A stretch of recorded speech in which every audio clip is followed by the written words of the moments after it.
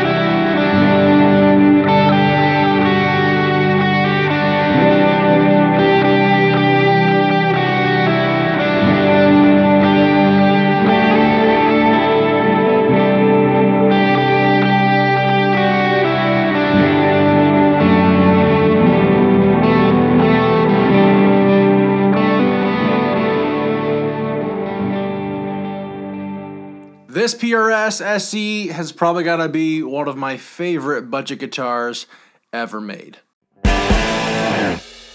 Guys, what is going on? IkeGuitar here. I've got a new guitar to review for you guys today. This is the Zach Myers PRS SE from PRS Guitars, and this guitar is incredible. So to put a long story short, I'm doing a trading game. This is the next guitar down the line. I traded my Player Series Made in Mexico Fender Stratocaster HSS configuration link in the description, for this PRS SE. Now, I think in the end, I ended up getting a little more value on the trade. This guitar is incredible. It sounds great, a broad range of sounds, and the guitar just feels amazing. So let's go through some details, and we'll talk about what this guitar is and how much it costs. And I think that now is the best time to formally introduce my new IkeGuitar rating system. I'll be rating this guitar based on five features, look, feel, playability, tones, and price, to give you guys a more formalized approach to how I rate these guitars to help you all in your buying decisions. But let's talk about the look of this guitar and the features that it beholds. So first off, the Zach Myers SE Signature PRS guitar includes a body of mahogany with a maple cap on top. You'll also notice that the flame maple veneer is in the style of the Trampas green. A Trampas green is an interesting color that was formulated when Zach Myers actually went to the PRS factory to detail his guitar. There was a guy named Trampas showing off some new colors and he chose that green. He mentioned that it's kind of like a, a beach feel. You have the green on the front along with the back being a more warmer wood. You'll find that the neck is also mahogany with a rosewood fretboard. And not only that, but to cap off the looks on this guitar, you have the clear tone pots. Zach Myers specifically asked for clear tone pots because he felt like tone pots that are a solid color take away from the glory of the finish on the body. You'll also notice the bird inlays. I believe these are made of plastic and not true abalone, although be aware that for a price point like this, you're not going to find abalone on a guitar that's not worth $2,000. Usually on PRS SE guitars, there'll be the half moon inlay or it's going to be a traditional dot inlay, but the birds are a really nice touch to this instrument.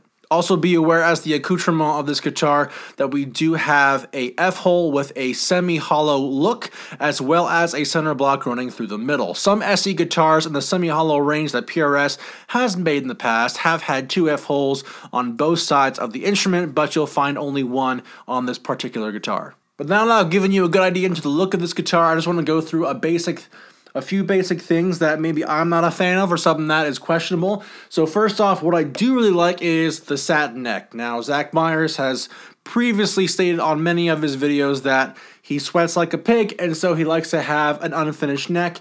This is going to be a satin neck so it is very smooth to the touch. The one thing I didn't like about the neck, uh, specifically the headstock, is these tuners look like they're made of very cheap plastic and I don't think that it's really helpful to have a guitar with cheap tuners. Although the guitar does stay in tune, I think you'll find that these guitar tuning pegs typically have a very cheap and shallow look to them. Definitely not um, on par with any of the other mainline Les Paul Studios, but you're going to get what you get for a budget style guitar. I will say I don't mind Trampas Green. It has grown on me since I've gotten the instrument, but I'm not really a fan of the finish. I think the green just looks kind of off and it's yellowish and kind of gross. I kind of wish that they would have had a bit more definition on the veneer on this guitar.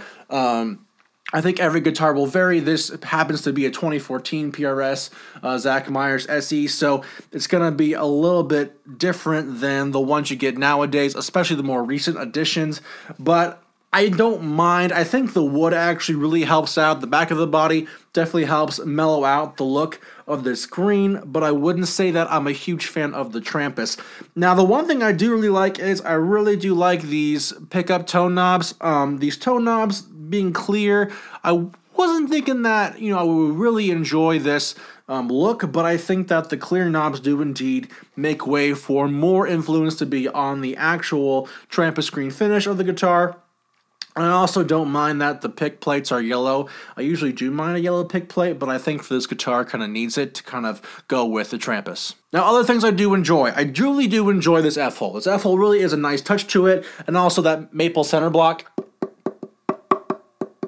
you might be able to hear that or not, but it's running through the middle of the guitar, and the rosewood fretboard does look really good. Now, even though the inlays aren't made of true abalone, I do think that the birds look great. You would get a bit more coloration from an abalone inlay, but for the price point of this guitar, um, you can't be asking for something like that. But I do think that for the record, that it does look very good the way it is, and this rosewood does look really exquisite. I think they did a good job picking out the rosewood fretboard, and then also like I used to think that the fret ends weren't t- like were not as good as I thought they were, but I think the frets are rolled a little bit better on the front half of the fretboard.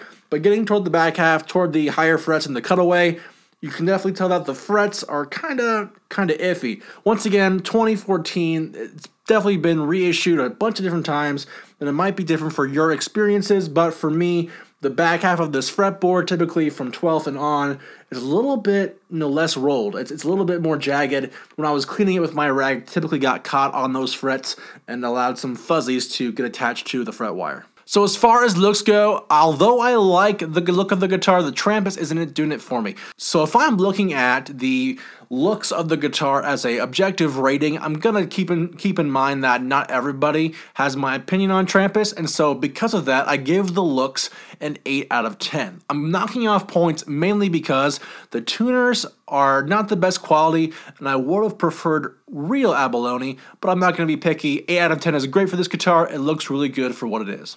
Now let's talk about feel. This guitar feels incredible in the hands. I think that if you like thicker boys on your necks, you're gonna really enjoy this guitar. It definitely has the feel of a more traditional Les Paul style. Um, what I really do like is the satin finish. The satin feels smooth, my hand runs quick along the fretboard.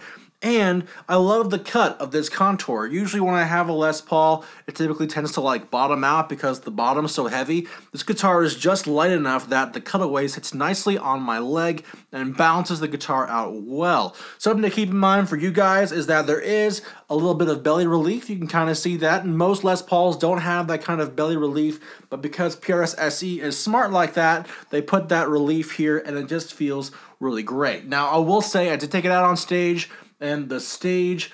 Um, it sounds really, really great and feels great. The guitar is nice and light comparatively to another Les Paul model. And obviously, we're semi hollow, so we will lose some weight off of that as well. But as far as feels goes, this guitar feels great. I'm going to give this rating a 10 out of 10. Now let's talk about playability. Now I think this guitar is especially good for playability. There are some cool things, some cool features that really add to the mix. I think these tone knobs and the more traditional Les Paul um, sound pretty good, but on this guitar it's kind of mastered. I really like how the tones roll off on this instrument and the feedback from tone control is really good. What I mean by feedback is, you know, how well do the pots move underneath my fingers? How good does this transparent pot feel? These pots feel like they're a million dollar pots. I mean, these things sound great. They feel great. The logarithmic control of attenuation is really solid, and I really like how this guitar feels and plays, especially because, of course, like I said before, this neck is, is really great. So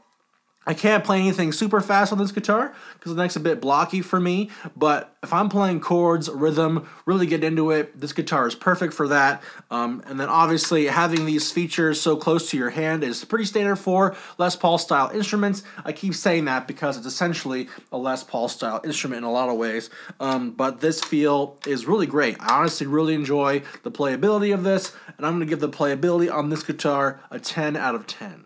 All right, so as far as tonal qualities, like I said before, um, the tone knobs really bring out a lot of the guitar. Now, I will say, because this is a solid mahogany backed and then as well maple capped instrument, it's going to follow some fundamentals that we already know about in regards to Les Pauls. First off, it's going to be a little flubby in the low end, nothing that an EQ or a mid boost couldn't take out.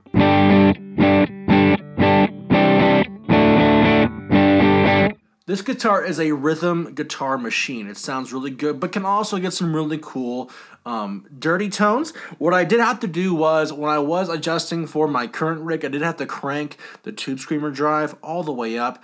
Um, I don't usually do that on most guitars, but these pickups kind of necessitated that kind of um, pull from my drive. So I'm going to go ahead and play just some standard drive tones, get, get you guys an idea of what this sounds like underneath some distortion.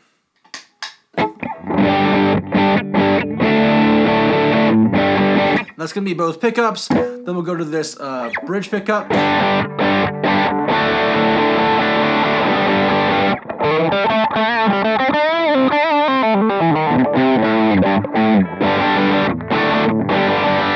And then we've got the neck pickup.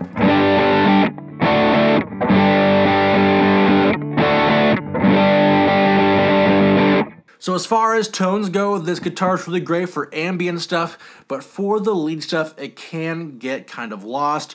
Now, obviously, this guitar has its place in the realm of tools that a guitarist would use on a gig. I think this guitar is definitely going to be more in the standard like rhythm and blues section. Um, you can take a screaming lead on this, but it's going to need a little help. Um, the pickups are are good. I wouldn't say they're amazing or like next level, but they definitely get the job done and definitely sound way better than the Fender pickups I had on my last instrument. So as far as tones go, I'm to give this guitar an 8 out of 10. Very versatile, very adept, but definitely made to fit the rhythm guitar, chonky, um, big gain kind of sounds.